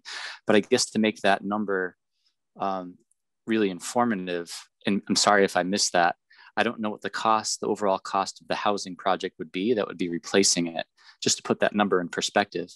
Because if you're spending, you know, 1.5 million or 2 million on tearing it down plus rebuilding a structure, then that $800,000 to get it into reusable shape, um, you know, is small in comparison. So I guess that's just the clarification that I had. Thank you. Thank you. I don't see anybody else's hands raised at the moment, so I don't know if the uh, um, there is one person here, Helen. And also Carolyn, um, Terrence, Terry's been raising his hand too. Okay, great. Thank you. Um, Helen, you're muted. Okay, can you hear me now? Yes. Okay, I'm not going to spend too much time. I kind of agree with what was said, especially with our councillor, Jim Nash. Uh, I've been a pastoral minister at St. John Cantius when it merged to one, uh, two, one priest for two parishes. And I worked very closely with the Polish people, um, and they were very dedicated. They they did everything they could. Even the elderly at 80 and 90 years old they would we would have projects that they would want to have suppers to support the church. And they also supported the community. When we had the uh, you know feeding the hungry many of them volunteered to feed. And uh, so and they are they are heartbroken about this decision. Uh, some of them have called me because they know me from my job here. And they're very heartbroken because they said they were promised by the construction company that they were going to do something with the building and not tear it down. So um, again I agree with the others. Please consider, take time, and maybe think of a project of feeding the hungry, a building to use. We don't have places to use outside of the senior center, which is limited. And uh, I can speak in behalf of the mayor too. He's interested and concerned about the homeless and the ones that are, are hungry working, walking in the street. So I agree likewise. And I thank you people for looking into this and you're doing a great job. And please consider our plea to wait at least a year till you decide to demolish. Thank you so much. Thank you. I guess uh, Terry. Can you hear me? Yep. Yep. Okay. Th thanks for the chance to speak for a few seconds. I, I won't be long. Um, I had written a letter with a lot of supporting materials um, for this cause, if you will, um, and had no idea that um, I would see this much support for the church, and it really makes me feel great because I too would hate to see this church um, disappear. Um, so if anyone looks at the document file for today's this evening's meeting, they can see my letter, um, which has a lot of supporting materials um, to show comparative repurposed properties within the city of Northampton and a lot of residential church conversions within the state of Massachusetts. Um, and to that end, I would also go a step further to say that within Pittsfield, there's a very talented um, construction developer named Dave Carver who has converted, I don't know, four, five, six churches in Pittsfield into residential apartments. And I think if you need to do research on positive models, um, that's a good place to start. I would also say that it's not to wave a magic wand and say, oh, make the money go away. These are economic transactions where there's costs, there's expenses, there's renovation costs, and those numbers really need to be worked out so that there's not an imposition on the developer uh, to take a burden that's more than they should bear.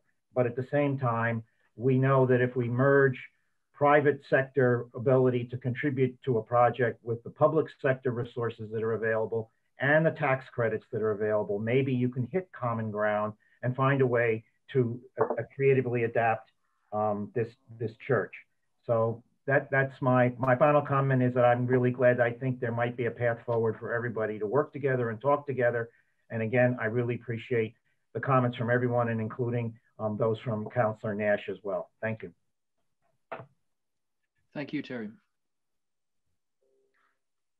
Um, there's another hand raised. Uh, JP.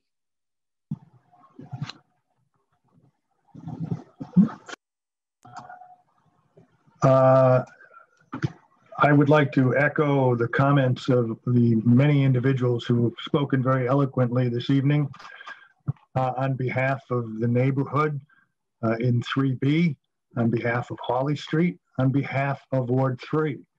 Uh, I believe that there is a positive uh, future, not only for uh, our neighborhood, but for Northampton.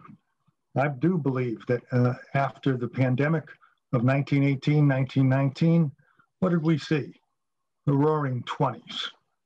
And I hope that this city can take the time to honor the historic property that is right in the downtown area and can allow for the most uh, stringent review allowed by the city to repurpose the building.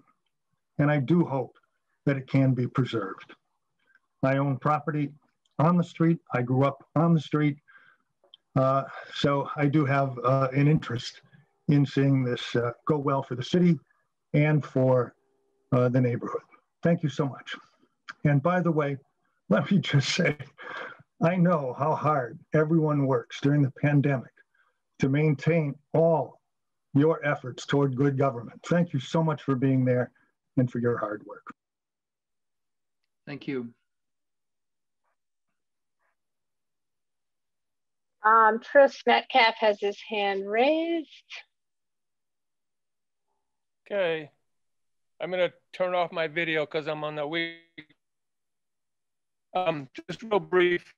Um, I was hired by the original developer of this project to uh, do historic uh, preservation on the church. I've been all through it multiple times. I've designed a restaurant that would fit into it.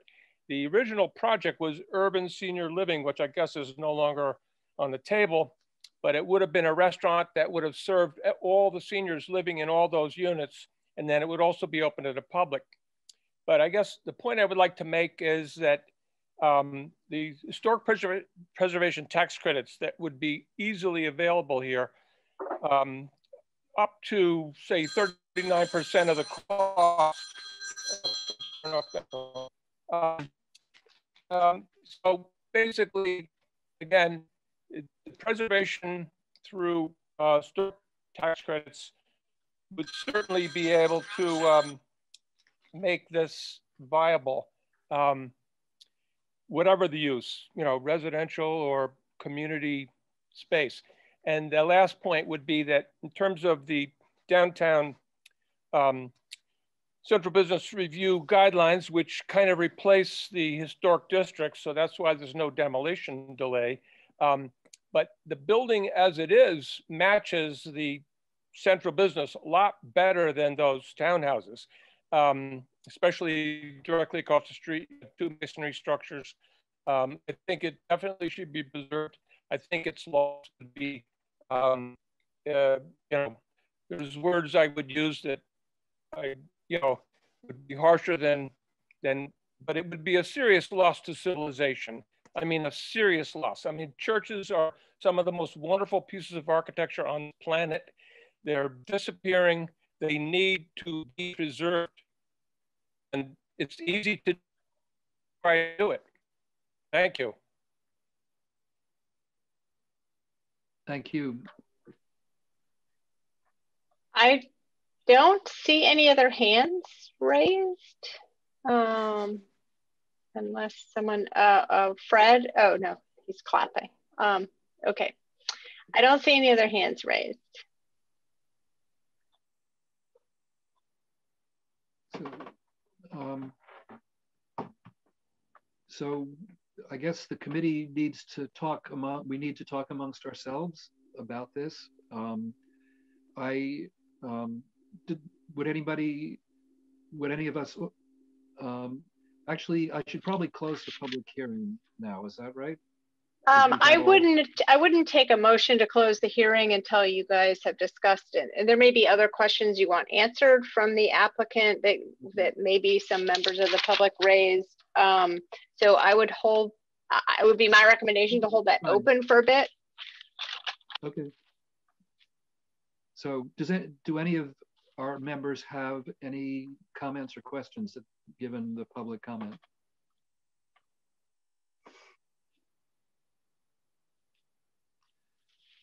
There was one, um, uh, Pauline, you're muted. I have.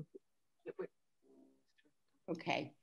Um, you know, I feel like we are rushing and, um, you know, to a decision. We've been presented with schematic drawings. I, you know, I couldn't make a decision on that.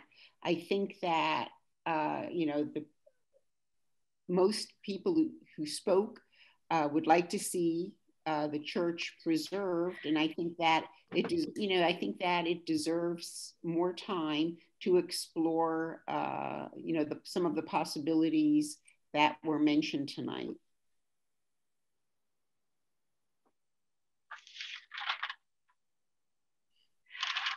Um, like you may. To...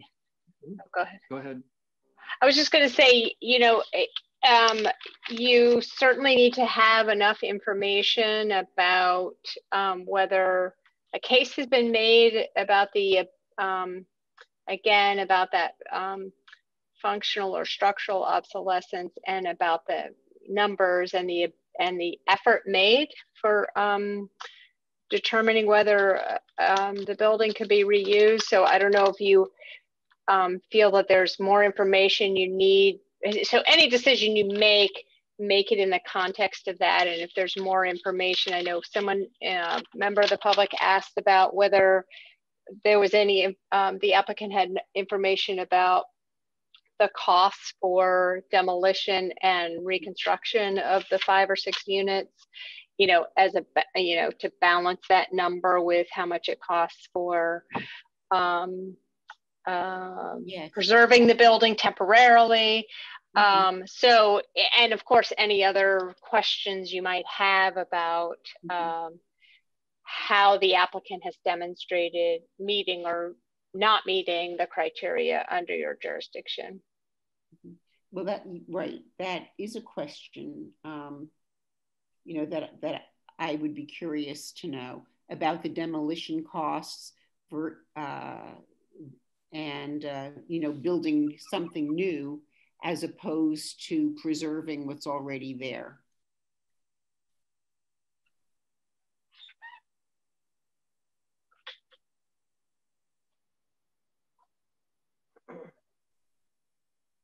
Can we ask for that information as supplemental information um, in addition to more renderings, more material descriptions?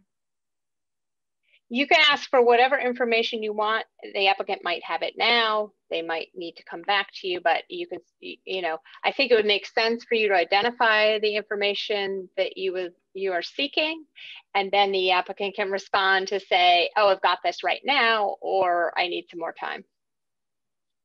Yeah, um, Matt, I would, you know, for starters, um, perhaps you can share uh, your estimated demolition and abatement costs or hazardous materials abatement costs um, with the um, the renovation costs. So we would compare the two. We would compare demo um, with the new construction. Yeah, with the new construction. I'm thinking Actually, I'm thinking demolition with the renovation costs also. So I think those would be the two factors we'd be looking at is, um, you know, they're saying that let's demo it, you know, it'll have this cost to demolish it and abate it versus keeping it up and alive. So keeping it up and alive, renovation costs, and the bit of demolition that has to, or the bit of asbestos abatement and, and hazardous material that has to happen. Mm -hmm. Mm -hmm. Sure. So uh, happy to address that. So the, the delta is really $125 per square foot. Um, what is the rent? Uh... So so if you were to take the the the cost of bringing the building, the renovation cost to to uh, weather tightness plus the uh, environmental abatement, you're adding $125 per square gross square foot to the construction costs. And that's at the top line. So that means if we were going to construct new, we would be somewhere probably within $200 per gross square foot. And uh, like I mentioned earlier, the cost to bring the building to code, um, mechanical, electric, plumbing, fire protection, structural, uh, seismic, we would probably be in the $200 range as well. And so uh, we're looking at um, a difference of 800,000 to a million dollars more expensive to, to renovate. Do you have a figure for how much it would cost to demolish the building or an estimate? Yes, that's uh, that's probably ninety thousand to hundred thousand dollars. I'd like to ask if you considered. Um, I know that not everybody uh, who commented will like this uh, idea, but I wondered if you considered um, putting more of a commercial style building on that corner instead of townhomes, or something with retail on the bottom and apartments on the top? We did look at um, considering a mixed use building.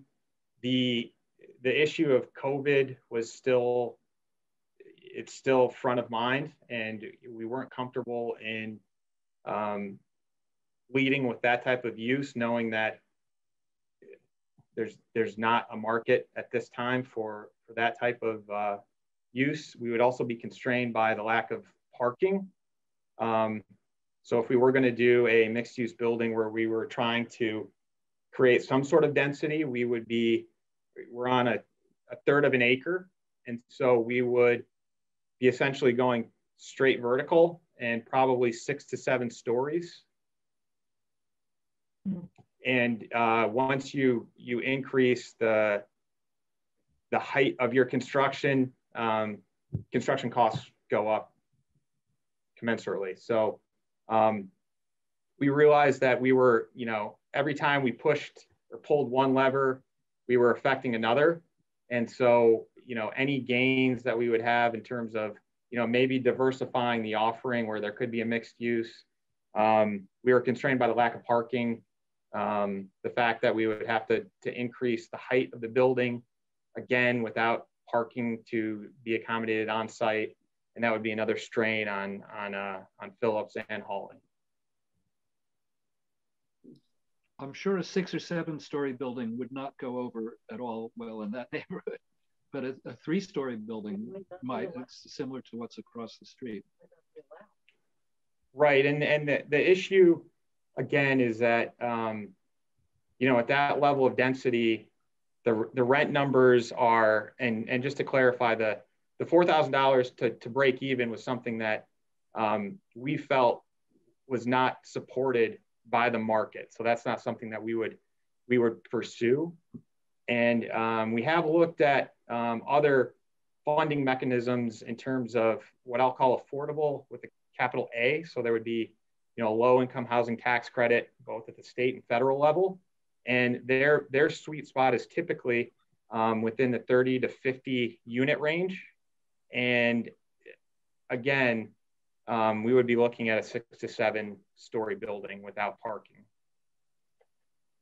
And um, that, that usually has a two to three year award period. So we would be extending um, this process another two to three years without, you know, any uh, guarantee for success. So your model is to rent, right? These are all units that are going to be rented? For sale. They're for sale. Um, so if you were, you know, in that, you know, being a walk, walk to town, if they were very nice units, conceivably you could sell them for around $500,000 if you did the church, if you went, if you preserved the church um, would it be realistic to think that you could get five units out of there at uh, five hundred thousand dollars? I, I don't I don't I don't know. Um, I would think without parking, it would be difficult to to command that type of price. Well, there is park. Isn't there parking there now? There's not.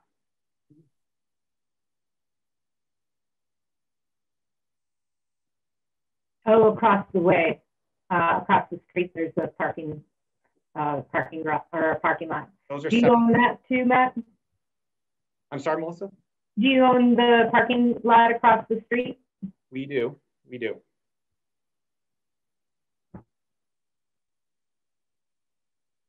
So, uh, Trip, you said thirty-nine percent potential tax credit.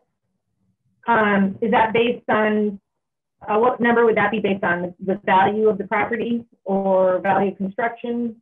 You know, historic preservation tax credits, um, well, first of all, you want to have a building that's going to be awarded, and this clearly would. Um, you get 20% from the state and 20% from the federal, but then there's uh, brokers that take a few percent. So you figure about 38% of all the money you spend comes back into your pocket. And so that really helps the equation quite a bit.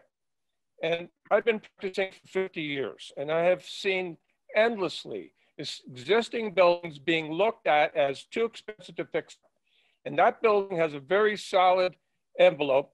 Um, it's, uh, you know, maybe the roof started leaking since the last time I was there a few years ago, but the, the cost to use the envelope as it is, which is what you'd have to do for the tax credits, keep it looking the same on the outside. Um, whatever you put in there, I, I don't believe the numbers that were just presented about how expensive it is. It's not expensive. You have the building, the footings, the foundation, the roof, it's all there. All it needs is an interior renovation. So, and then with 40% of your money coming back, it's a slam dunk. So what do you? Does anybody know the, the, does anybody know how the biggest um, CPA grant that Northampton has given out? Just out of curiosity. I don't know.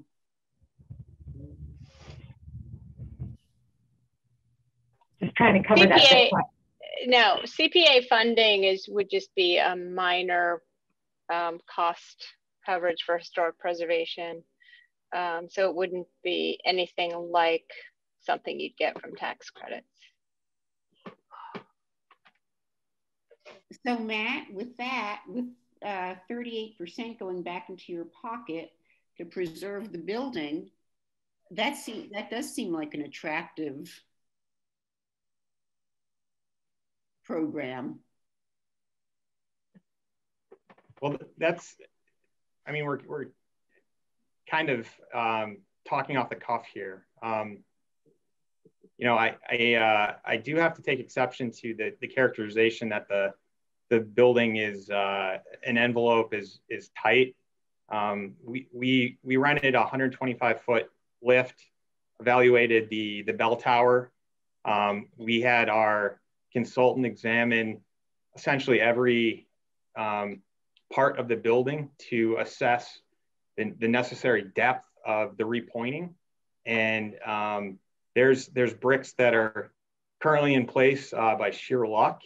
Um, so um, I have to disagree with, with the, uh, the characterization that the, the building is weather tight. Um, we've, we've assessed uh, the full envelope and um, requires the entire building needs to be repointed.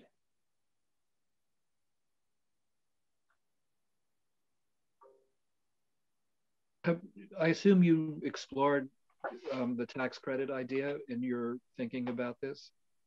We've evaluated the, uh, the low income housing tax credit process and um, weren't able to fit the enough, enough units within the, end, within the, the existing footprint to um, probably attract or garner enough attention to make it um, attractive to the funding agencies. Typically, um, in our experience, it's somewhere between 30 to 50 units, and we would be So able to talking fit. about not not low income, but historic tax credits, historic preservation tax credits. Uh, we uh, we've not per, uh, pursued that path. Haven't pursued that. My my guess is that we are not going to have a consensus here tonight, given what I'm hearing from the other members. Um, is is something um, uh, would it make sense to continue the hearing and perhaps you might look into the historic tax credit idea, mm-hmm. talk to this um, developer in Pittsfield that successfully rehabbed a few churches, maybe talk to um, Jim Olson. It probably won't go anywhere, but it might be worth a conversation. It would, um, and uh, um, and then you know continue it for a month or two and then revisit it? We would be willing to, to have those conversations. Pardon me? We would be willing to have those conversations and to evaluate that funding source. Okay, good.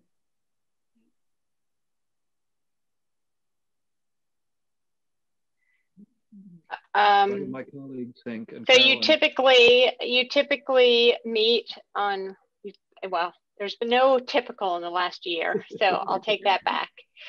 Um, you've had you have been meeting on the first Tuesdays of the month. Um, you obviously can pick any date and time that you all are all available, but um, so you might want to pick. Let's see, it's February 22nd, so you probably want at least a month. So either late March or early April.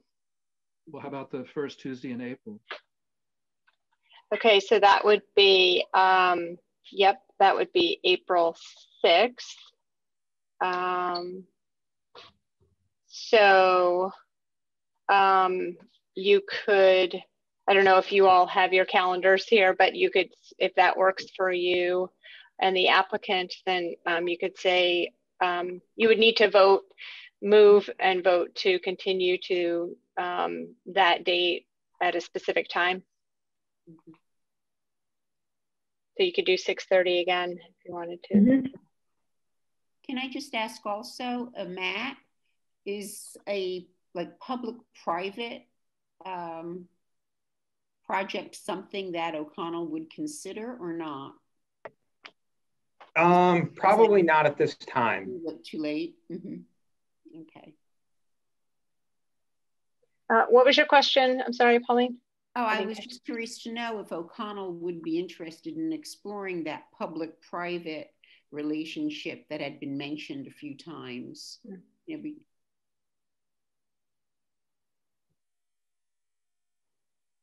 Is, I would, I'd like to say, um, in terms of continuing the hearing, also that um, I'm, it might, I would probably be more inclined to look favorably on a commercial style building on that corner than five townhomes. Um, but uh, so I don't know if if you uh, you know would think a little bit more about that. Not a seven-story building, but a three-story building. But um, uh, but I, I think that issue might be worth a little more exploration because I'm the the whole idea of, of you know this property going into central business was that we're working you know the the plan for the city is to have more density closer to the city center have more people living closer to the city center. And so you know even though the people in the neighborhood are you know um, uh, uh, like living in a more in a less dense environment you know this i think the the infill question is something that is uh, it's been decided that it's a good idea. And so it, it's it's worth considering that a little more, I think.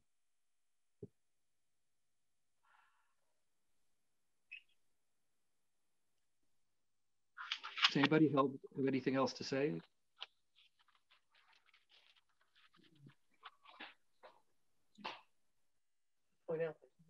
Is there a hand raised? Yeah. yeah. Well, I have some historic preservation consultants that I could send your way, Matt, if you want.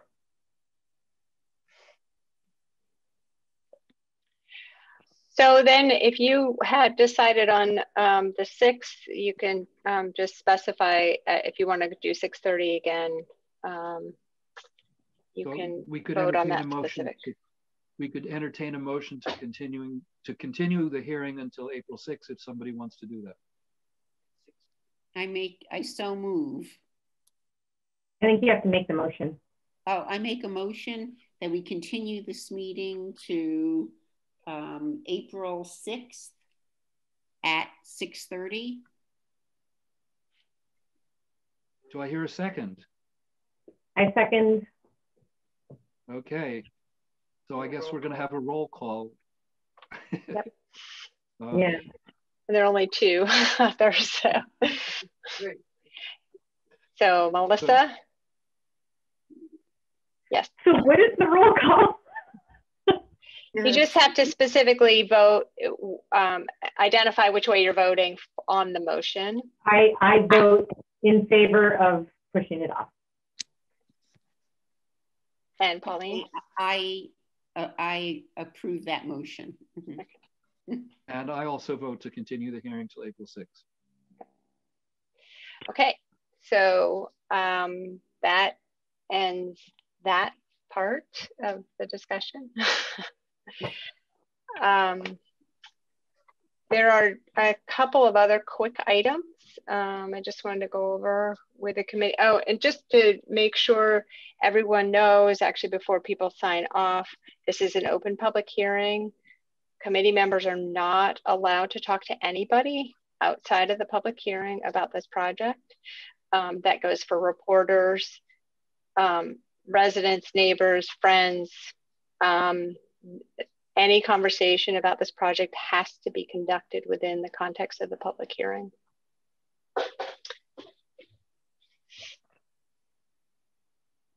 And can Bob be, can, can Bob uh, look at what we've done and so that he could participate in the, on April 6th? Yes, he can review the record and then um, be an active participant then. So I will connect with him about that. Okay. So the only other thing I saw on the agenda was um, minutes from the August meeting. Right, and so do something about that? Yeah, and um, just one other item in addition to that, and you all are just accepting them as part of the record. So if you weren't there, now I don't have them in front of me, so I don't remember. um, um, so you can take that vote. And then I just wanted to go over, the, again, sort of that whole concept of public meeting and, and conversations about projects. So are we going to vote to accept the minutes now? Yeah, you need to do that, yeah. So, And so the date was August 6th? Yes, I believe that's correct. Oh, this, it actually, um, I have it down on the 5th, but that could be wrong. Oh, okay. So Uh, I actually don't remember if I was there. The date for the next meeting? Did you, No, Or the the- minutes. Um, let me just pull it up. Thanks.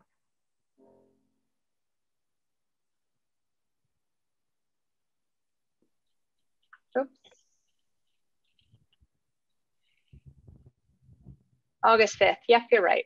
Yep. Jeez. So everyone was there at that meeting, actually.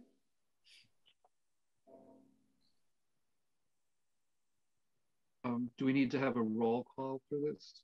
Uh, yeah, motion. I don't, did somebody move already? We need a motion and then uh, a, a second and then a vote. Yet. Okay. So, so would somebody like to make a motion to approve the minutes of the August meeting? I make a motion to approve the meeting minutes of August 5th. I'll second Do I hear a second? I'll second it. Okay, Melissa, how do you vote? I, uh, I approve the motion. I approve the motion. As do I. Okay. Great. Um, so then the only other reminder, and it's, um, I know that this was um, precipitated by a question from Elan about um, her, she had a contact from the Gazette, um, ask her about this project last week, and she told the um, staff writer that she could not talk about the project because it was a pending public hearing. And the um, writer insisted that she could because she often talks to city council and school committee members before meetings. And so um, Alon just sort of pushed back and said, no, I can't talk to you, which of course is the right answer. Um, and so uh, she and I just talked and thought, okay, this probably um, makes sense to just remind everybody that even if you haven't opened the public hearing, you can't talk about a project you know that is coming in front of the committee. Um, and uh, because it's considered ex parte contact and a violation of open meeting law. And it's very different from a legislative discussion that would happen at city council or school committee. So that's the difference. Um, I also actually spoke to the reporter and clarified that for her. So now she understands the, the difference. Um, so I'll have to get back with, you know, just remind the other folks who aren't here tonight of that as well.